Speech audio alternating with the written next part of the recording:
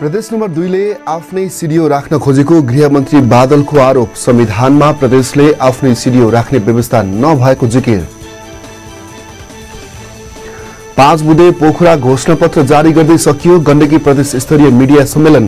Press तथा अभिव्यक्ति स्वतन्त्रतामाथिको प्रहार तत्काल बन्द गर्न माग। यो वर्ष मुलुक विकासको वर्ष हुने श्रम मन्त्री विष्टको भनाई। दुई हजार पचहत्तर सालमा सरकारले विकासको आधार तय गरेको उल्लेख। नेपाल एसिसी अन्डर सिक्सटिन पूर्वी क्षेत्रीय क्रिकेट प्रतियोगिताको फाइनलमा प्रवेश। अङ्कन चार विकेटले पराजित।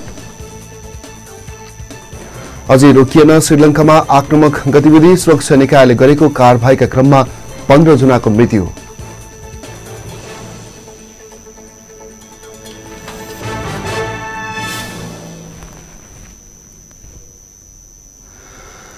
नेपालीको पहिचान राष्ट्र निर्माणमा हाम्रो अभियान। नमस्कार फेवा समाचारमा स्वागत छ म शङ्कर गृहमन्त्री रामबहादुर थापा बादलले प्रदेश नम्बर दुई सरकारले आफ्नै सिडिओ राख्न खोजेको भन्दै असन्तुष्टि जनाउनु भएको छ। संविधानमै नभएको व्यवस्था गरेर प्रदेश नम्बर दुई सरकारले आफ्नै सिडिओ राख्न खोजेको गृहमन्त्रीको आरोप रहेको छ। प्रदेश नम्बर दुई स्तरीय सुरक्षा गोष्ठीमा भाग लिन जनकपुर धाम पुग्नुभएका गृहमन्त्री थापाले शनिबार पत्रकारसँग कुराकानी गर्दै प्रदेशले आफ्नै सिडिओ राख्ने व्यवस्था संविधानमै नभएको बताउनु भएको छ। प्रदेश नम्बर दुई सरकारका मुख्यमन्त्री र मन्त्रीहरूले संविधानमै अनुसार आफ्नै सिडिओ राख्ने विधेयक तयार पारिएको बताइरहेको बेला जनकपुरमै गएका गृहमन्त्री गृहमन्त्रीले यसको संविधानमै व्यवस्था नभएको बताउनु भयो थापाले प्रमुख जिल्ला अधिकारी संघीय सरकारको प्रतिनिधि हुने भन्दै दोहोरो भूमिका हुने बताउनु भएको छ। भूमि व्यवस्था सहकारी तथा गरिबी निवारण मन्त्री पद्मा अर्यालले ललिता निवासको जग्गाको सबै किताहरू किटान गरेर हिजो मात्रै रोक्का गरेको बताउनु भएको छ। शनिबार पुरुष कलम नेपालले आयोजना गरेको विशेष साक्षात्कारमा बोल्दै मन्त्री अर्यालले ललिता निवासभित्र पर्ने जग्गाको अन्ठानब्बे प्रतिशत किताहरू किटान गरेको भन्दै सात दिनको समय सीमा राखेर हामीले किता काँड गर्ने काम सम्पन्न गरेका छौं। उहाँको भनाइ छ।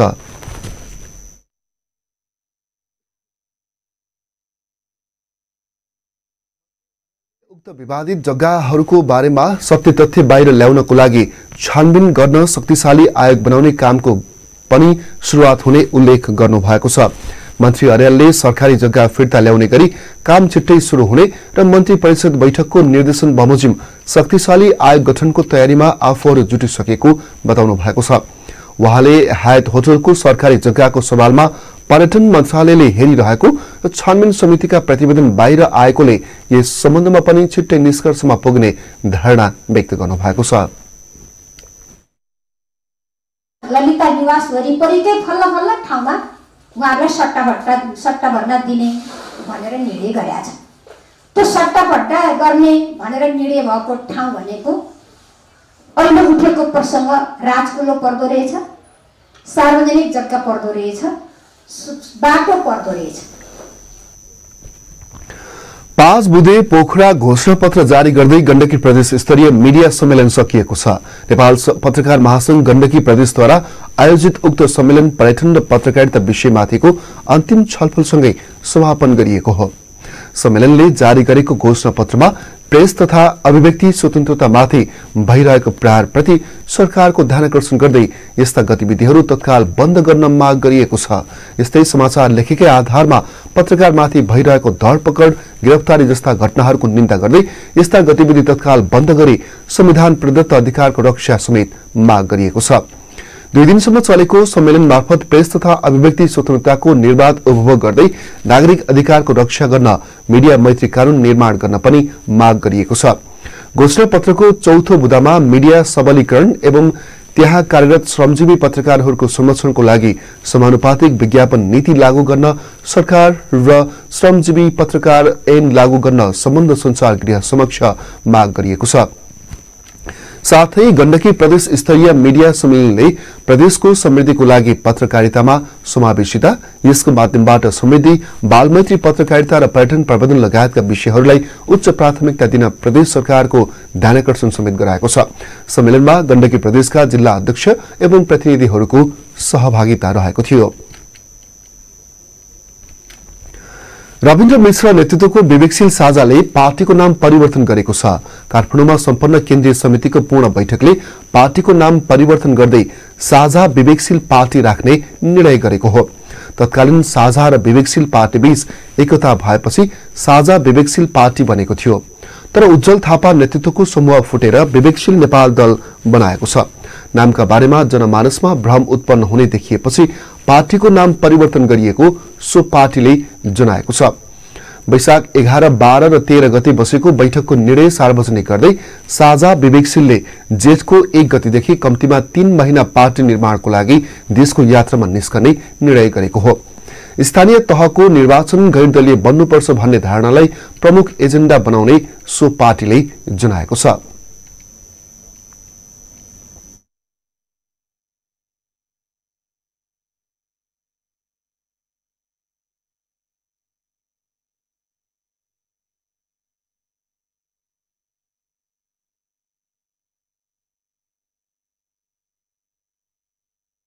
अत्यन्त अनुकूल छ। त्यो अनुकूल देशको लागि घाटा हो। त्यसै हुनाले दुई तिहाईको समर्थन प्राप्त सरकार आउने बित्तिकै हामीले प्रेस विज्ञप्ति नै निकालेर के भनेको थियौँ भने हामी शङ्काको लाभ दिन्छौँ र यो समय खेर नजाओस्। यही सरकारले यो देशको रूपान्तरण गरोस् भन्ने हाम्रो र आम जनताको चाहना पनि त्यही हो। त्यही अनुसार उहाँले भोट पनि पाउनु भयो तर एक वर्ष बित्दाखेरि के देखियो भने यो सरकार काण्डै काण्डमा मुछियो। अब आर्थिक समाचार। आर्थिक समाचारको साथमा पोखरा सस्तो बजार हरि वस्त्रालय। पोखराको पृथ्वी चोकमा प्रदेश नम्बर चारकै विशाल सपिङ कम्प्लेक्स। तपाईँले खोज्नु भएको हरेक सामानको एउटै गन्तव्य पोखरा सस्तो बजार पृथ्वी चोक। आजै बुकिङ गरी सफल व्यवसाय बन्नुहोस्। विभिन्न किसिमका सर्टिङ सुटिङ कुर्ता सलवार साडी सिरक डस्ना तथा कार्पेटका साथै विभिन्न विद्यालयका पोसाक ड्रेसहरूका लागि हामीलाई सम्झनुहोस्। हरि वस्त्रालय पोखरा दस बुद्धचोक गौरी मार्ग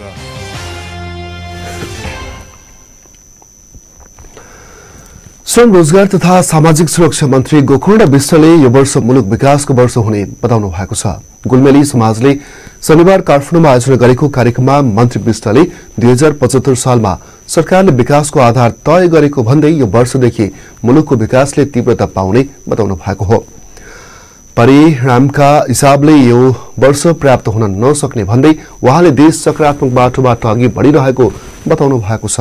उहाँले सरकार नीति नियम कानून बनाउनेदेखि विकासको बाटो कोर्ने काम गरेको समेत उल्लेख गर्नुभयो। केही समय यता मुलुकमा राजनीतिक स्थायित्व देखा परेको भन्दै मन्त्री विष्टले बिस्तारै नीतिगत कानूनी स्थायित्व हुँदै समाजको संरचना परिवर्तनको लागि आधार तयार भएको धारणा व्यक्त गर्नुभएको छ। त्यस्तै मन्त्री विष्टले मुलुकको युवा शक्तिहरू वैदेशिक रोजगारको लागि विदेशी न बाध्य भएको भन्दै नेपालमा नै पर्याप्त रोजगारीको सृजना गर्ने प्रयास सरकारले गरिरहेको धारणा व्यक्त गर्नुभएको छ।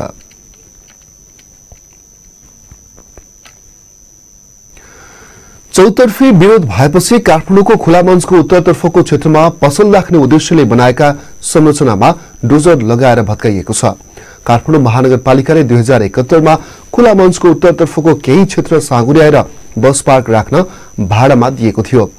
त्यस क्षेत्रमा केही सटर बनेर भाडामा दिइसकिएको छ भने केही बन्दै गरेका थिए। शनिबार दिउँसो महानगरपालिकाले खुला मञ्चको बस पार्क क्षेत्रमा बनेका अवैध संरचना भत्काउने निर्णय गरेपछि दुईवटा डोजर परिचालन गरेर भत्काइएको छ। डोजर परिचालनसँगै काठमाडौँका प्रमुख जिल्ला अधिकारी रामप्रसाद आचार्य महानगर प्रमुख विद्यासुन्दर साक्य लगायत खुला मञ्च क्षेत्र पुगेका थिए। महानगरपालिका र ठेकेदार मनोज कुमार भेटवालको स्वच्छन्द विल्डर्सको मिलेमतोमा खुला मञ्च ठेक्कामा दिएको खुलासा भएपछि यसको चौतर्फी विरोध भएको थियो। विरोधपछि महानगरपालिका त्यहाँ रहेका सटरहरू भत्काउन बाध्य भएको हो। खुला मञ्चभित्र करिब चालिसवटा सटरहरू खडा गरेर पसल सञ्चालन हुँदै आएका थिए।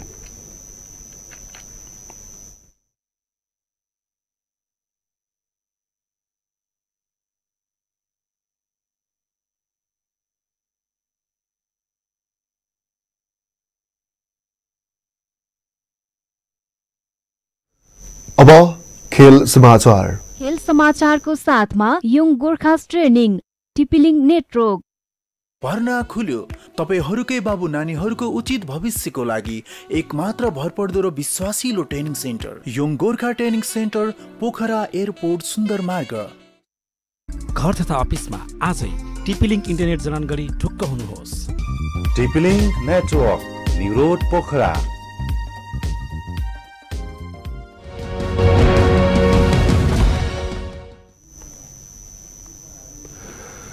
ACC under sixteen पूर्व पूर्वी क्षेत्रीय क्रिकेट प्रतियोगिताको सेमी फाइनलमा नेपालले हङकङलाई चार विकेटले पराजित गर्दै फाइनलमा स्थान सुरक्षित गरेको छ। हङकङले दिएको सतासी रनको लक्ष्य नेपालले छ विकेटको क्षतिमा एक्काइस रन एक्काइस ओभर चार बलमा पूरा गरेको हो। यसअघि नेपालले कसिलो बलिङ गर्दै हङकङलाई छ्यासी रनमै समेटेको थियो। थाइल्याण्डको चियाङ माईमा जारी खेलमा हङकङले टस जितेर ब्याटिङ रोजेपछि नेपालले हङकङलाई बत्तीस दशमलव दुई ओभरमा अल आउट गरेको थियो। नेपालका लागि निखिल कुमार सिंहले कसिलो बलिङ गर्दै छ ओभर दुई बलमा सोह्र रन दिएर चार विकेट लिएका थिए। त्यस्तै विशाल कुमार पटेल र रमेश कुर्मीले दुई दुई विकेट लिएका थिए भने तिलकराज भण्डारीले एक विकेट लिएका थिए। हङकङका लागि आरुष भागवतले त्रिचालिस रन बनाउँदा अन्य कुनै पनि ब्याट्सम्यानले दोहोरो अङ्कमा रन बनाउन सकेनन्। पोखराको लेक साइडमा एक महिने निशुल्क आत्मरक्षा तालिम समापन भएको छ। तालिममा तीसजनाले सहभागिता जनाएको लेकसाइड डोजाङका प्रशिक्षक प्रितम कुवरले बताउनु भएको छ। पछिल्लो समय बलात्कार बालबालिकामाथि हुने बलात्कार लगायतका घटना बढ़िरहँदा यस्ता तालिमको महत्व बढ्दै गएको छ।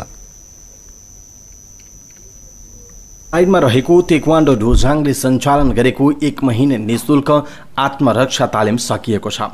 तालिममा आर्थिक स्थिति कमजोर रहेका परिवारका तिसजना बालिकाहरू सहभागी भएका थिए।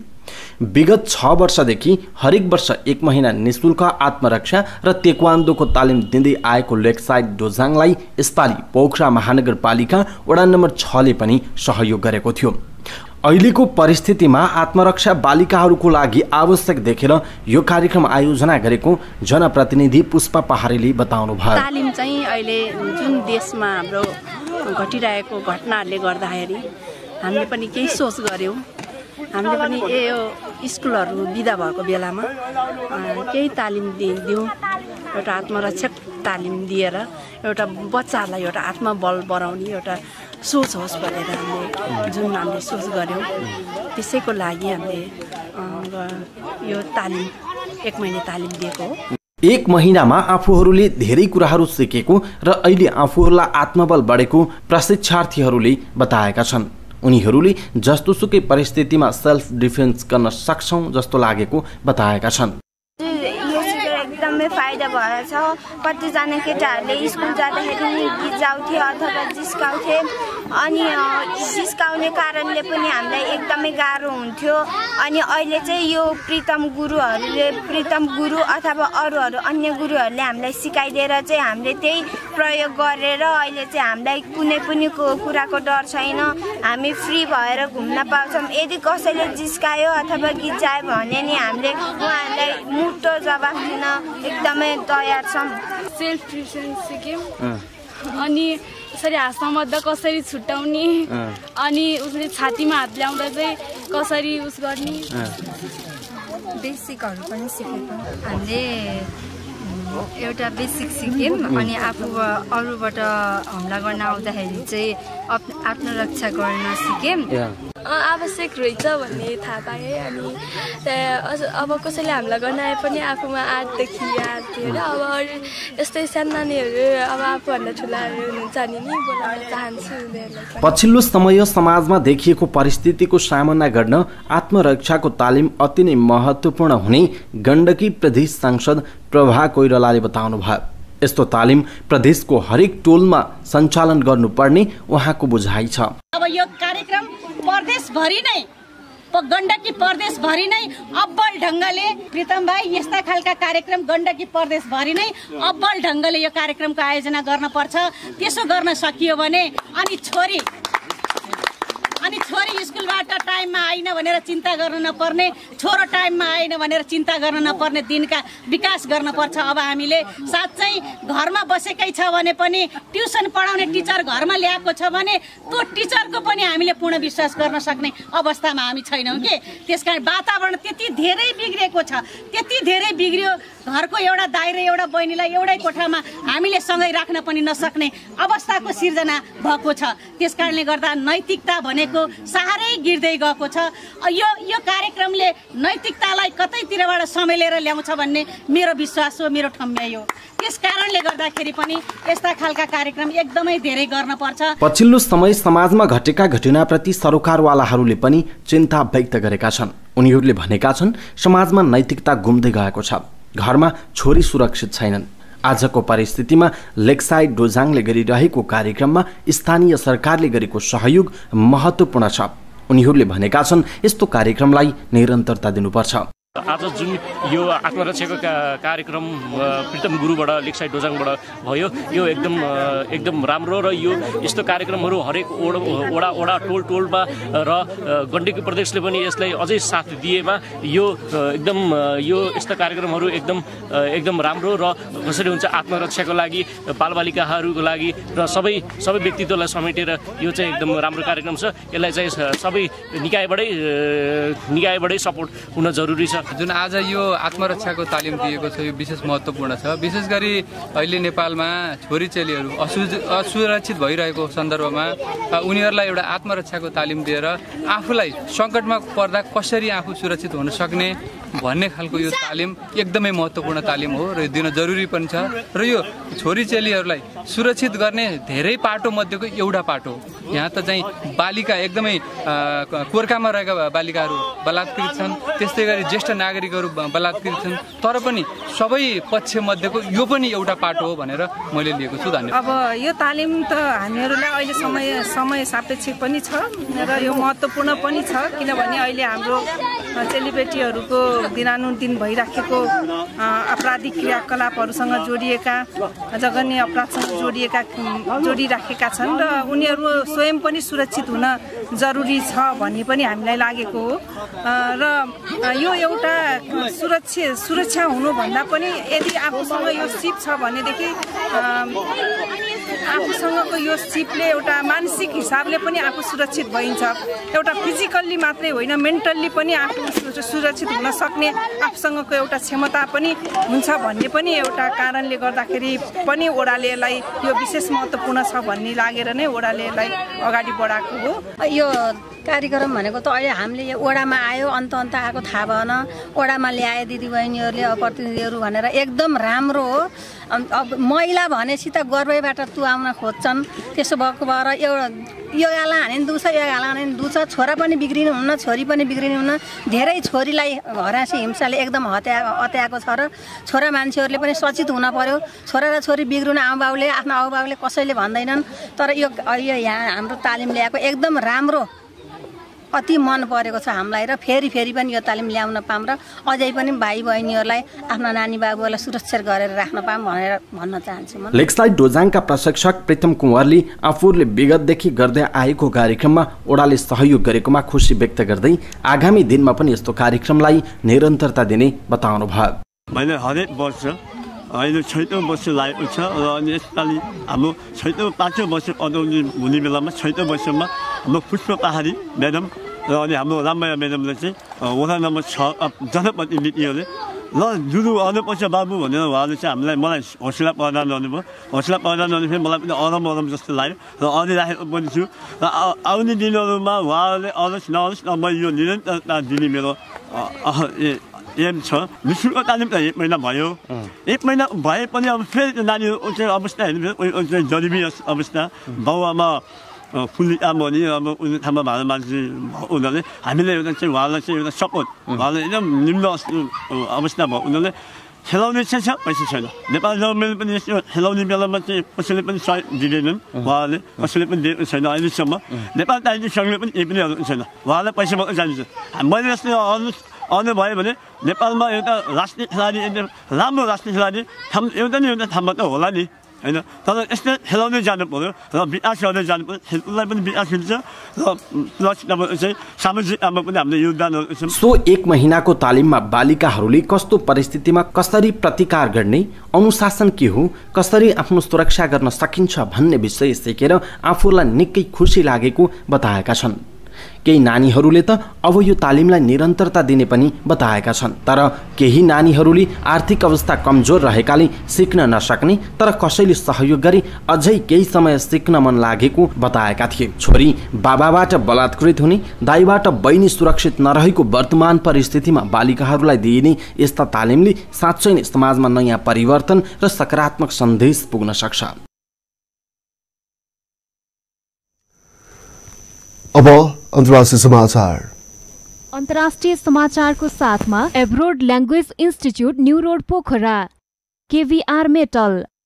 Study abroad, USA, Japan, Canada. Test preparation classes IELTS, TOEFL, SAT, GRE, GMAT, ACT. Language classes Japanese, Korean, Germany, Chinese, English, Hebrew. सम्पर्क abroad language institute private limited new road Pokhara लेखनाथमै पहिलो पटक जिआई पाताद्वारा निर्मित काठको झ्याल ढोका जस्तै देखिने सिसा खापा जाली खापा सस्तो मूल्यमा एकमात्र तयार गरिने ठाउँ केभिआर मेटल पोखरा लेखनाथ तिस खुदी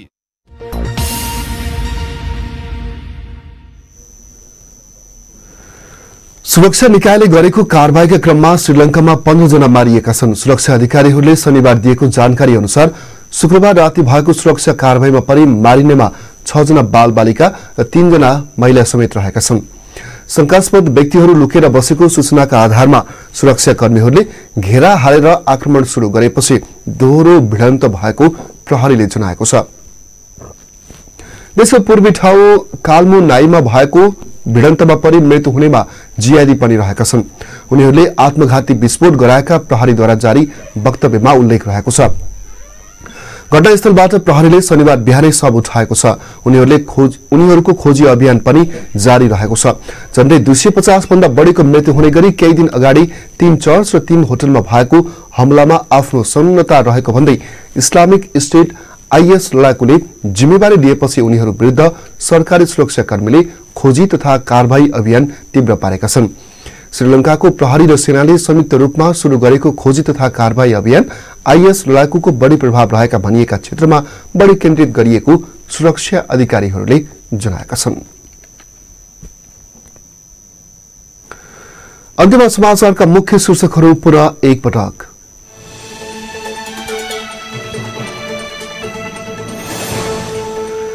प्रदेश नम्बर दुईले आफ्नै सिडिओ राख्न खोजेको गृहमन्त्री बादलको आरोप। संविधानमा प्रदेशले आफ्नै सिडिओ राख्ने व्यवस्था नभएको जिकिर। पाँच बुधे पोखरा घोषणा पत्र जारी गर्दै सकियो गण्डकी प्रदेश स्तरीय मिडिया सम्मेलन। प्रेस तथा अभिव्यक्ति स्वतन्त्रतामाथिको प्रहार तत्काल बन्द गर्न माग। यो वर्ष मुलुक विकासको वर्ष हुने श्रम मन्त्री विष्टको भनाई। दुई हजार पचहत्तर सालमा सरकारले विकासको आधार तय गरेको उल्लेख। नेपाल एसिसी अन्डर सिक्सटिन पूर्वी क्षेत्रीय क्रिकेट प्रतियोगिताको फाइनलमा प्रवेश।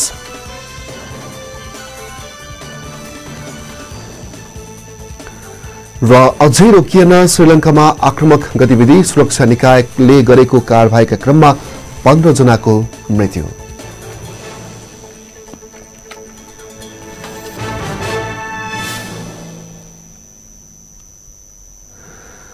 हवस् तिमी समाचारसँगै फेवा समाचार अहिलेलाई यही सकिएको छ। बाँकी समाचार र कार्यक्रमको लागि फेवा टेलिभिजनको युट्युब च्यानल र फेसबुक पेज मार्फत हेर्न र सुन्न सक्नुहुनेछ। फेवा टेलिभिजन हेर्दै गर्नुहोस्। समाचार कक्षका सबै साथीहरूसँगै म शङ्कर विदा माग्छु। नमस्कार।